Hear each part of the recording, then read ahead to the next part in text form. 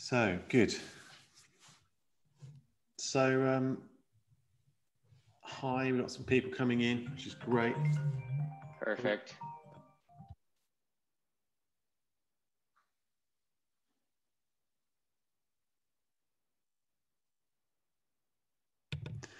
So how how you doing then, Dylan? I, I'm doing well. I'm doing well. How are you, Adam?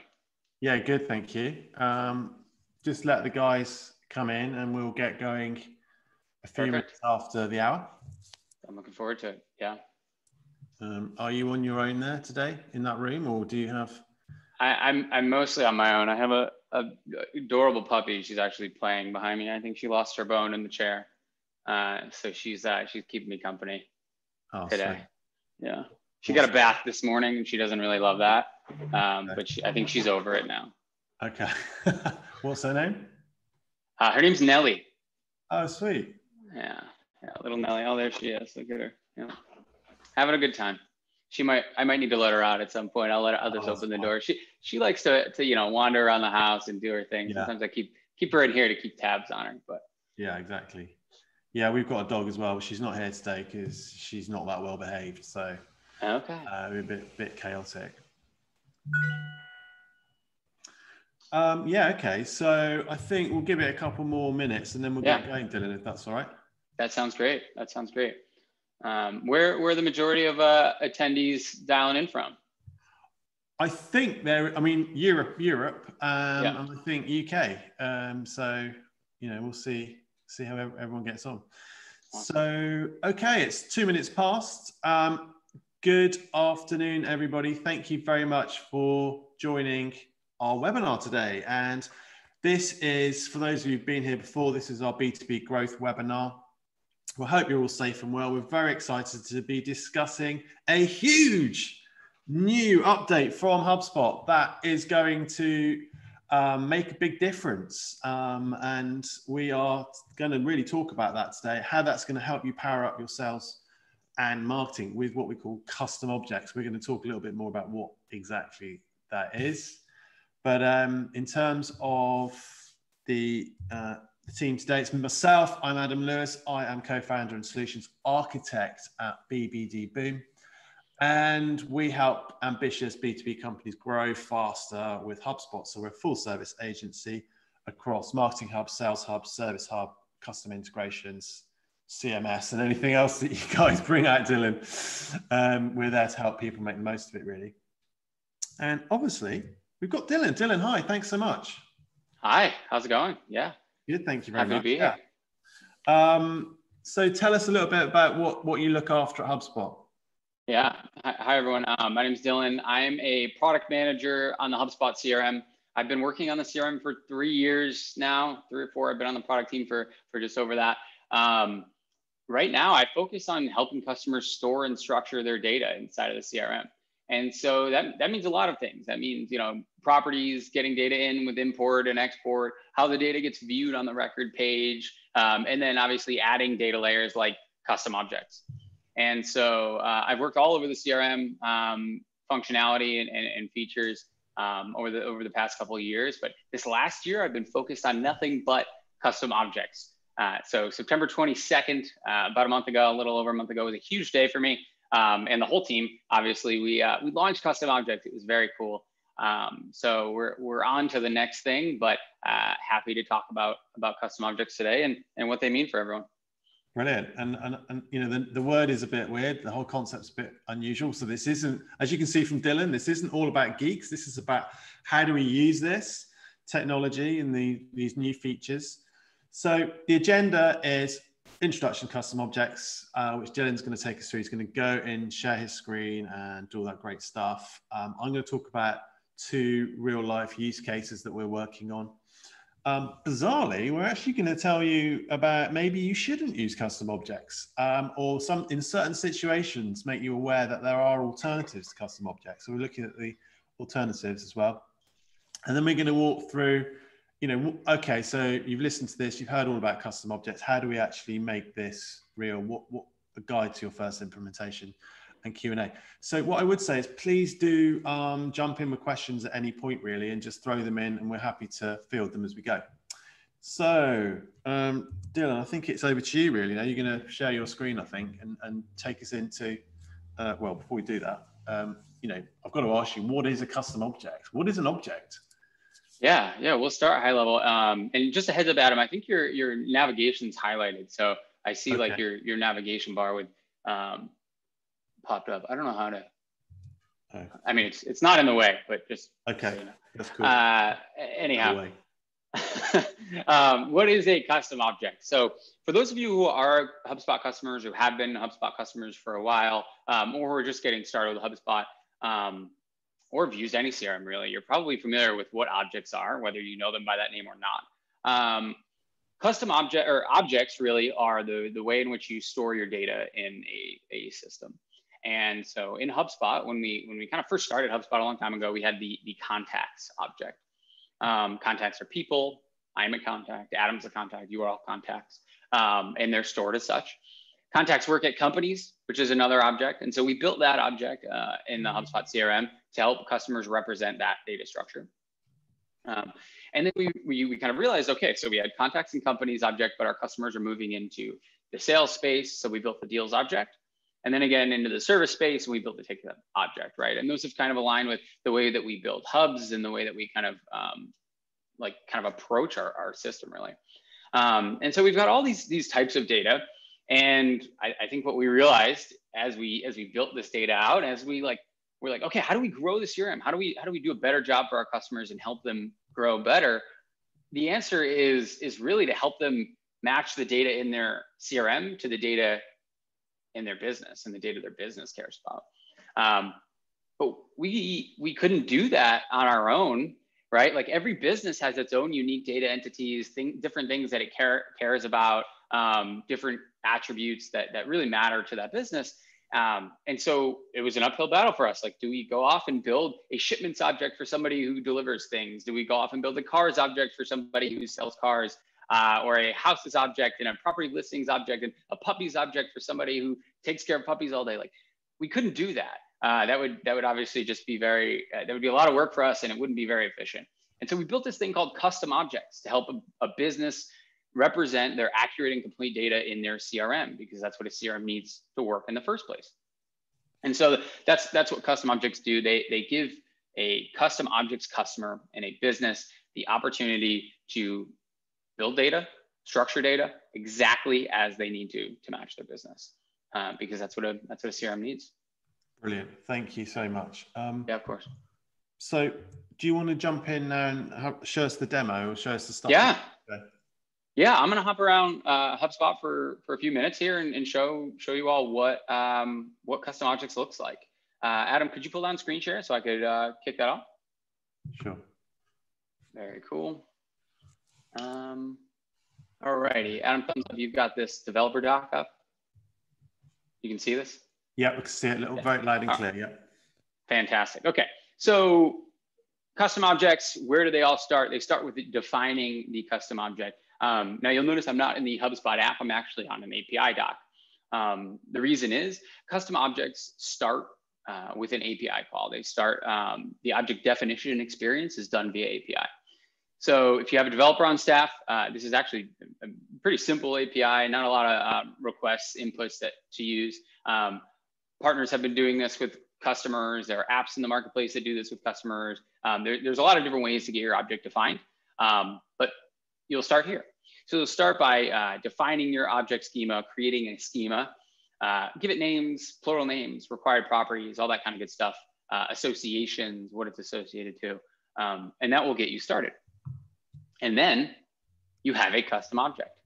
Uh, now, Adam's going to talk about this in a bit, but obviously it should never be that easy. You should never just walk into HubSpot and just like start punching numbers into the system and, and build a custom object. It, it's it's actually there's a lot of work you should put in up front. It's it's pretty deliberate. You want to be calculated in your approach. You want to make sure it matches what your business needs. Um, you want to make sure it's going to scale because at the end of the day, this is like the, the core, the lifeblood of a business is the way your data uh, is represented in your CRM. So um, it's not a fly by night operation. It's uh, it's it's something that you'll you'll really want to put some energy into. But once you're ready to hit go, you can do that. Um, you hit go on this object definition um, endpoint, and you're live.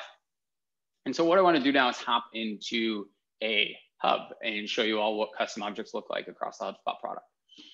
For those of you who have used the HubSpot product before, this is going to be an amazing demo in one sense and a very boring demo in the other sense. The reason that is, is that custom objects look and feel and act and behave exactly like the rest of HubSpot. It's exactly everything that you've you've gotten used to, that your team has learned, that you've coached your team on, that you've used in multiple portals. That it is just woven into HubSpot.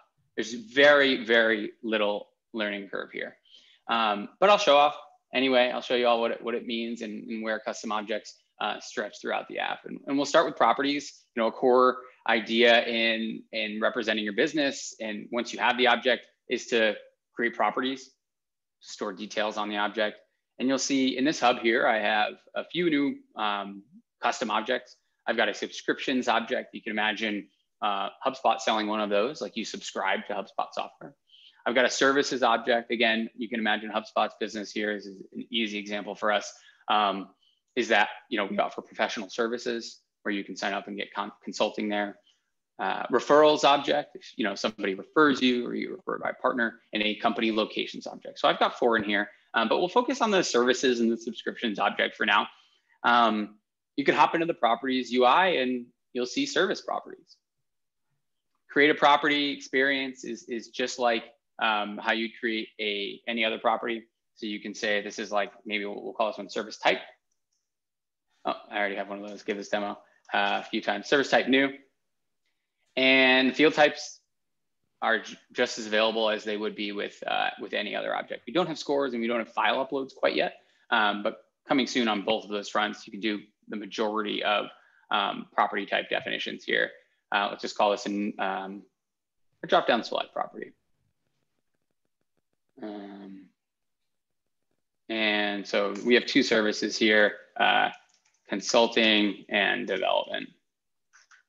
And just like that, we've got a custom object property. Simple, easy to build, and just like using any other properties experience. Yes, nice. Yeah. Um, it's it's it's you'll you'll pick it up quick. And so once you're once you've got a few custom objects defined, right? Like you can use our import tool to bring custom objects in. Looks and feels the same. I'm, I'm going to skip over that demo, but then you have a list of custom objects. Here are all my custom objects in, in a grid view here.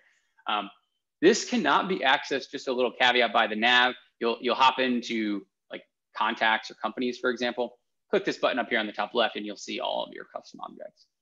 So here's a services custom object. Click into a record, got the preview panel, looks exactly like the rest. And let's, you know, let's, let's have a look at the record. There's a full on custom object record. It's got properties on the left, a timeline in the center, you know, it's associated with a contact, a company, there's a deal associated with it, um, and it looks and feels just like uh, any other object. So here's our cleanup data entry service object. Nice. Dylan, you can obviously associate it with other custom objects, right? Yes, you can. Uh, so if I have a, uh, a service and a subscription, right? Like you buy HubSpot Enterprise and you get a professional onboarding experience with that, you can associate those two objects together. Um, notes, same thing, right? Take a note, logs to the object, just like that. Now, that's a lot of the CRM functionality, right? You, you structure the data, you bring the data in, you add properties, you, you know, kind of interact with the record. Um, but that's not all HubSpot offers. Obviously, our offering shines as you kind of get into the, the out, outstretches of the tool, right? Yes. Uh, automation functionality, workflows, reporting. Um, so I want to show off some of that too. Um, the first is workflows. And workflows is, you know, by many by many standards, probably the most powerful tool in HubSpot, the most unique. You can do so so so much with workflows, um, and custom object workflows are no exception. Uh, so once you've got your custom objects here, you can see we've got custom object based workflows. Or if you were to create a standard workflow with contacts, companies deals, you'll see custom object criteria in there. Um, so I've got a, a, workflow ready that I, that I made recently um, that creates services and assigns owners. So you can, you can uh, think about HubSpot's business here, right? We sell a subscription to our software. Um, It's starting in a few days. We need to make sure our internal teams are prepared for that. We need to assign ownership. We need to make sure our internal teams uh, follow up. And this workflow will do just that. So you've got a service type confirmed, start date less than seven days. What's going to happen in this workflow is we're going to copy properties um, from start date to service start date. We're going to send an email to the HubSpot representative, letting them know that consulting is starting in one week. Um, we're going to create a branch here, depending on the type of consulting, whether it's ongoing or premium consulting, um, and and do different tasks based on that. Right. So um, you know you can you can imagine a business had all of this infrastructure, all of this stuff in another system before custom objects. Mm. They were hmm. paying, you know, for another subscription, or they were storing data somewhere else, or they were using another tool to do all of this. Uh, with custom objects, you can bring it all into HubSpot. It's it's it's really cool. Dylan, can I just comment on that as well? I think you know of one of the most powerful use cases is where people have another system, like a provisioning system, some other type of CRM, where they do have these objects, and now you know maybe they don't need the other system, or maybe they still need that system, and they can now sync that object to these objects. So there's a real um, you know consistency in the way that the data transfers. Yeah, it's it's uh, it's really powerful. One of one of the beta customers we worked with in, in custom objects, um, you know, this is dating all the way back to February. He and we, we kind of worked with him all throughout this beta. He had uh, four different systems that his reps needed to work out of. You know, popping in between tabs, copying data, moving it back and forth. He was paying for all of them. Wow. He was on a HubSpot professional license. His upgrade to enterprise actually ended up being like half of the cost that it was wow. to just cancel the other four systems. And right. it made all of his reps days easier. And so, you know, the consolidation here, not only does it provide uh, bottom line business value, but it also just provides like peace of mind for your reps in a, in a single place for people to just really get stuff done. Nice. Um, very cool. Um, you can hop over here in, in reporting, right? Like any custom object, most custom objects are going to rely on reporting. You want to see how your business is performing in a given segment. How are your shipments going? How many subscriptions have we sold? Are our services on track? What does that all look like? Um, custom object reporting works out of the box, works just like standard reporting. Um, so I built a few reports just to prepare. Uh, here are like, you know, count of subscriptions by type. You can see an annual subscription breakdown, a monthly subscriptions breakdown.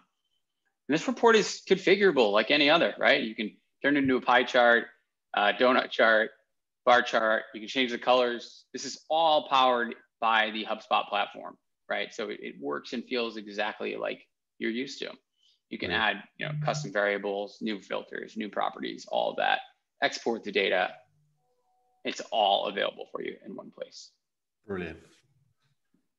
Um, and so, you know, the, the custom object functionality includes all these things. It includes properties, workflows, reporting, records customization, records, pretty robust CRM functionality. Uh, but we're still working on custom objects, right? Um, you know, Inbound was a huge launch and there was a ton of functionality delivered that day, um, but it, it, wasn't totally complete. I, I'd give us about an 80% across the product. So there are a few places where we're, we're still working on key functionality to help custom objects um, be a better tool uh, to help your businesses grow.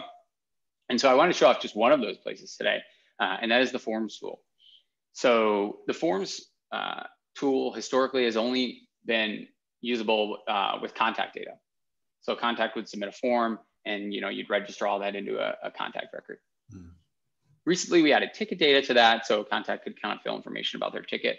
Um, but what you, we realize is when you look at some of these key workflows customers need with custom objects, and Adam will talk about use cases in a second, you'll start to start to see them. Um, custom object properties and forms are very important. Um, let, us take like a very simple example of a car dealership. Uh, if I want to request service for my car, or I want to maybe even request to buy a car, I'm going to fill out contact data on a form, but I'm also going to fill out car data. Okay. that car data is not contact data. It is absolutely not. It's, yeah. it's totally unique. It's stored differently. The business cares about it differently, and that's that's key. That's crucial. And so uh, instead of having our customers what they've been doing in the past, and I'm super excited for this update. Just fundamentally, is collected all as contact data, like mold it all over to other types of objects, stored in deals, all this kind of stuff.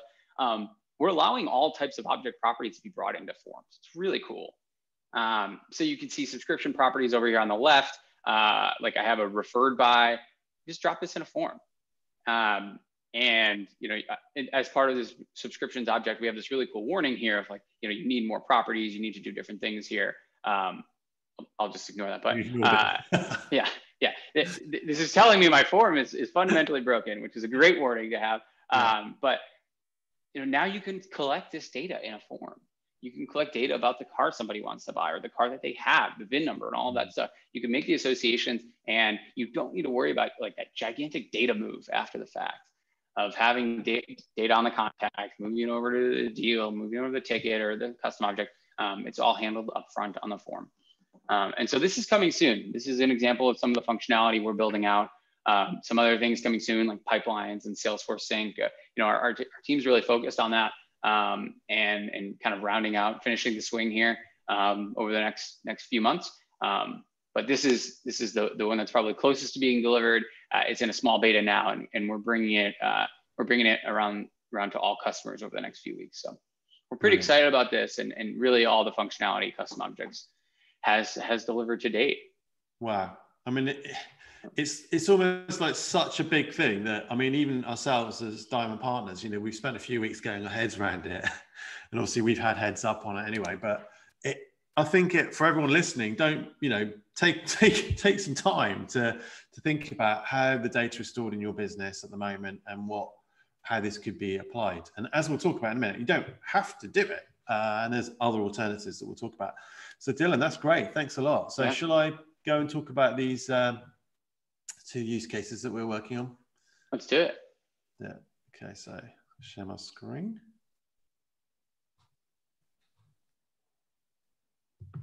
And um, can you see that property? Not quite yet. Oh, here we go. Bingo. Yeah. So, two use cases for you that we're working on with clients. Uh, one, so first of all, relates to property buildings. Now, we've got a client who's a telecoms company. They connect their basically their lines to a building. So, and and they only service certain buildings, right? So they might not cover certain zip codes or postcodes, but they might cover others. So ultimately, they're selling to whoever's in that building. so the building is like the customer almost. So, and in, in that building, there might be a mix of businesses, there might be multiple businesses, there might be multiple businesses and residential individual people. So that, uh, and, and in terms of their current HubSpot setup, so the way that they've worked so far and is not optimal is they've been using companies to represent properties and then using custom properties for postcodes and addresses and all that sort of stuff. And of course, the limitation of that is that you know companies um, they're, they're, not just companies, are they? We're trying to pretend they're properties, and so when you have um, multiple companies associated with a property, then you can't associate multiple companies to a company unless you start doing parent-child relationships, which just doesn't basically work. Um, so it's very limited. It has limitations in terms of reporting and, and lots of stuff. So here's the use case and here's the solution. So what we're, we're working on is create a new custom object called property. So an example would be 15 Albert Road. And then we can associate um, existing, I suppose you call them standard properties, don't you, Dylan, already in the system. So companies, deals, and contacts. So we might say, well, we've got multiple companies associated with objects. We might have deals associated with the custom object the property because that property might have two residential deals and one company deal associated with it. Um, and then you associate, in the case of a company, then you would just, as you do normally, the, the contact, so in this case, Joe Francis, um, would associate with the company there. So you get this kind of neat, neat solution. And um, on the on the you know we talked we saw earlier like you know in in in developer terms it's called object schema. But what are the properties that we want associated with that object? So property name. You might say, well, what type of property is it? Is it high rise? Is it a terrace building? How many deals have been associated with that property? Because you know people move in and out of property so we need to know historically what deals have been associated what's the value of the deals is a sales rep associated to a property? So rather than being associated to individual customers, they actually, if you like, their territory is a certain set of buildings. All of that is now possible. What that means for them in terms of powering up their sales and marketing is that they can now send campaigns to specific properties by postcode. We can automate emails when something changes with contacts or companies that are associated with that object. Sales reps get much clearer reporting and analytics. Sales rep get a much clearer view of, hey, what's going on in that property? I want to know what's been involved, what's the timeline, what's the ins and outs of everything that's gone on. And one thing I we touched on was just the integration because this particular client has another system, big um, bit of software somewhere else for provisioning, and they want the two things to be talking the same language. And now we can do that which is really cool. By the way, if anyone's got any questions as we go through, just raise your hand, chuck the questions in. The other um, example that we're working on is intermediaries. So um, where you've got like a third party who you basically contract to to the end customer. So our client here is does software and services for corporate events and meetings online. And so they you know they talk to the end customer but actually often the deal is done via the intermediary. So that's that's great. I mean in the current setup they have to use companies company object and company type. So they have end customer and intermediary which is which works but the limitation is they can't associate the end client with the company with the intermediary because the intermediary will have multiple companies that they're working with that are customers and again, the child parent thing doesn't work because they're not related companies. They're totally separate companies who's putting deals through the one intermediary. So, hey presto, the solution is the intermediary object. And again, we might have multiple deals going through with that intermediary. So we have associated deals to that intermediary. So there might be premier service product with a particular company that's being set, and we'll have multiple deals and multiple associated companies. We'll obviously have the association of the contact to that deal and the contact to the company that is then related to the intermediary objects.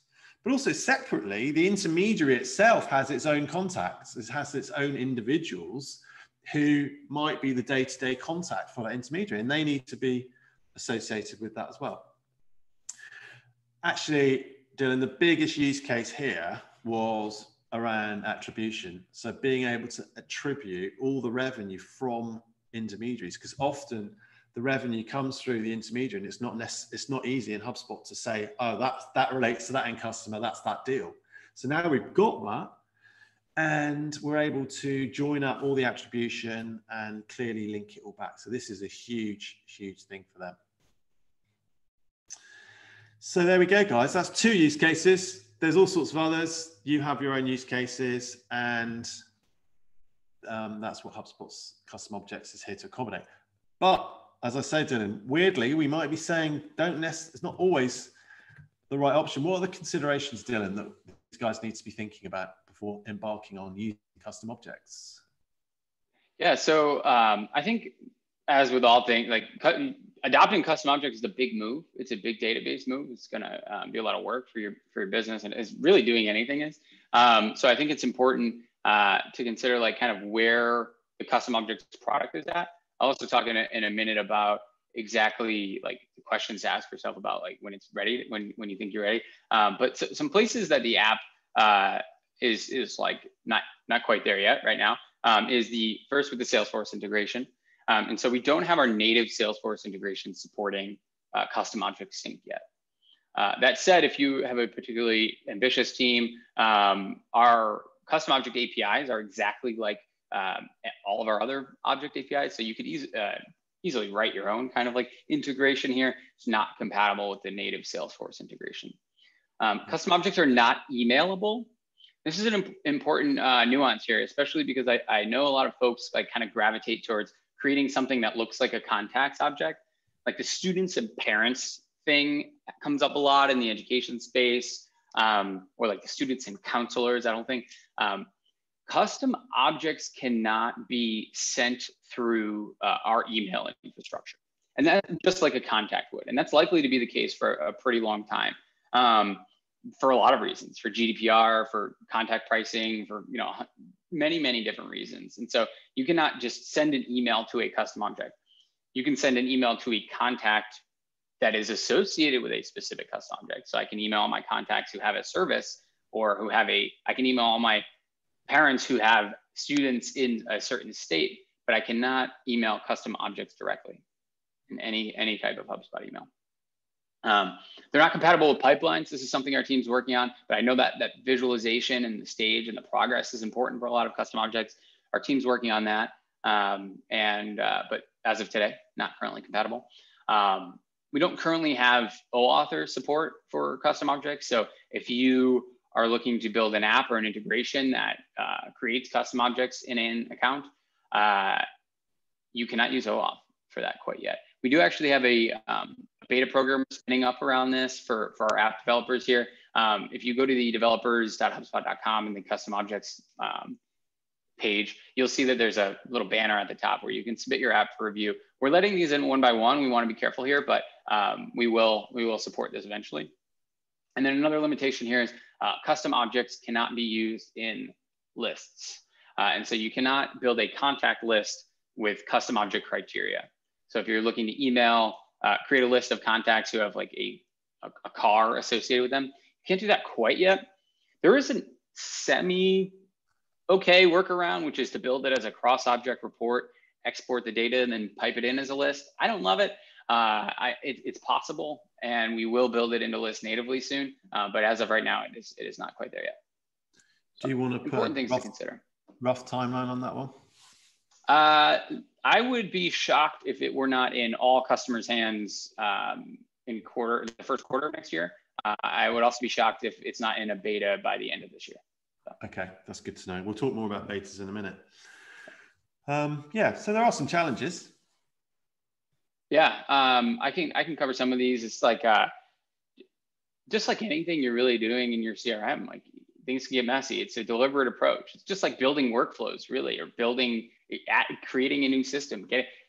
There are considerations that you, you should plan this out. You should get a whiteboard, talk with your team, talk with enablement, figure out how this is going to work end to end, um, and, and, make sure it's a good fit. Custom objects, or, or really anything you do um, in HubSpot.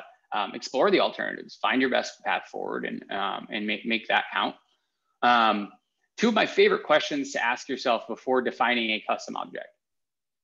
First one is, are you looking to actually solve a business problem today?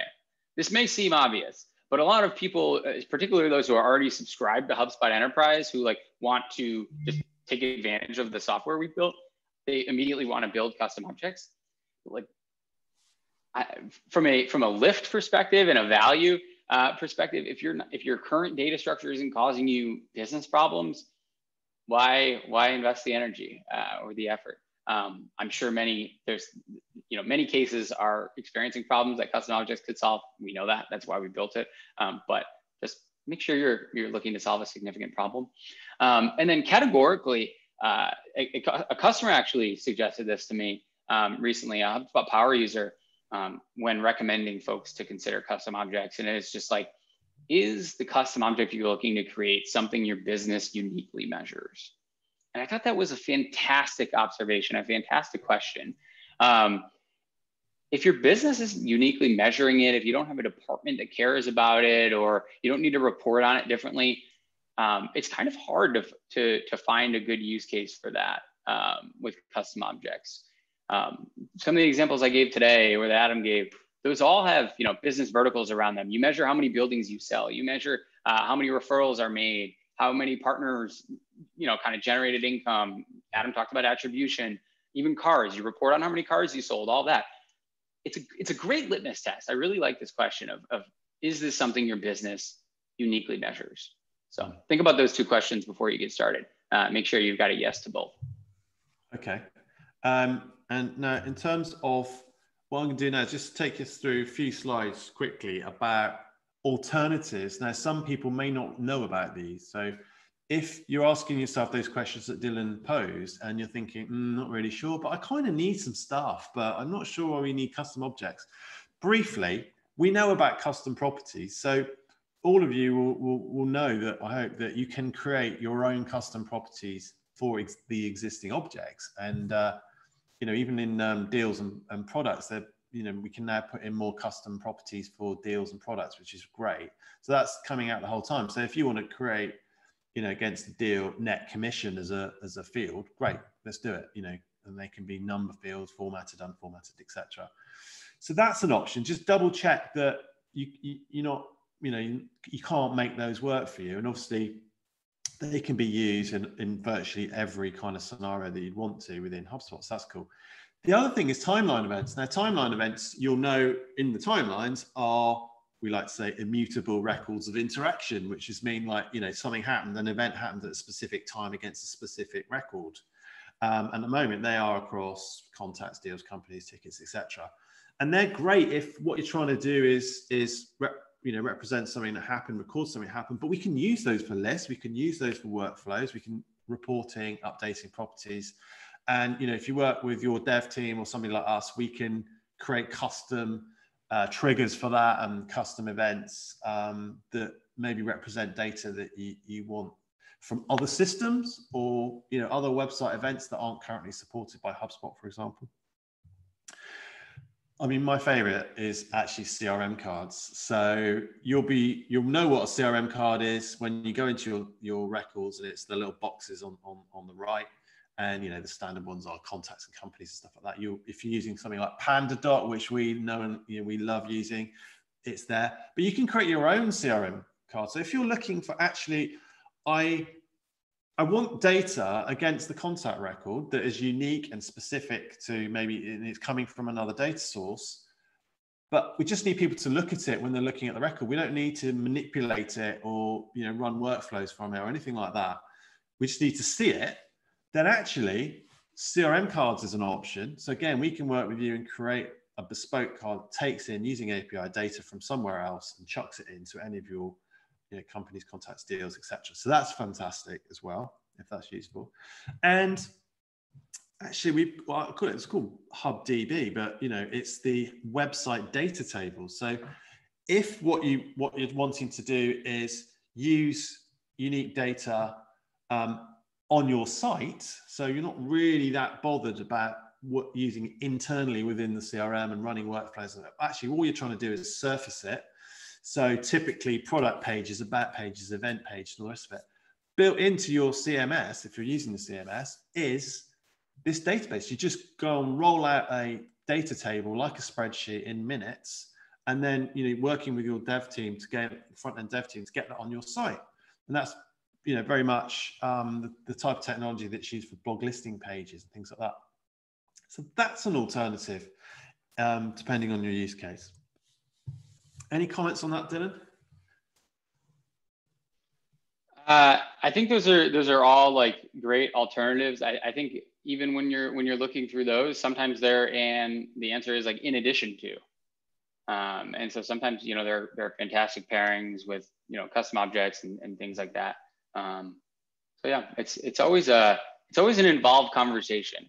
Even even you know sometimes internally i'll get a, a message from a, another hubspotter with with a sentence or two sentence and the punchline will be is that a good fit for custom objects? And my answer is always there's no way for me to answer that with the two sentences of background.